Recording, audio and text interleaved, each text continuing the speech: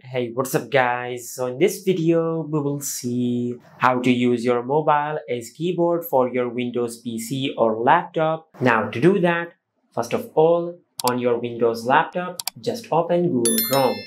Now to visit the official website, in the search bar, just search monect.com.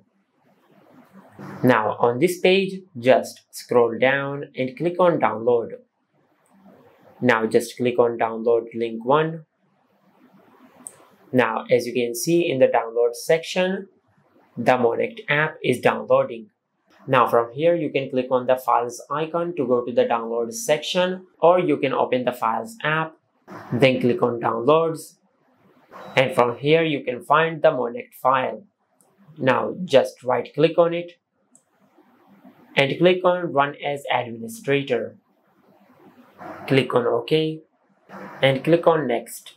Now just click on I agree and click on Install. Now just click on Finish. After a few seconds, the Monect app will open on your laptop. Now as you can see, we have successfully downloaded the Monect app on our laptop. Now on your Android smartphone, just open the Play Store and in the search bar, just search Monect. And install this app. Then click on Open.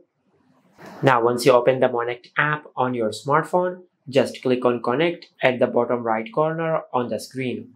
Now just give this app this permission and click the name of your laptop on your smartphone.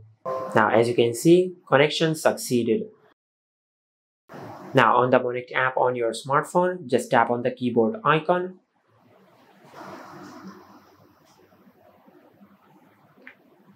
Now you can use the keyboard on your smartphone.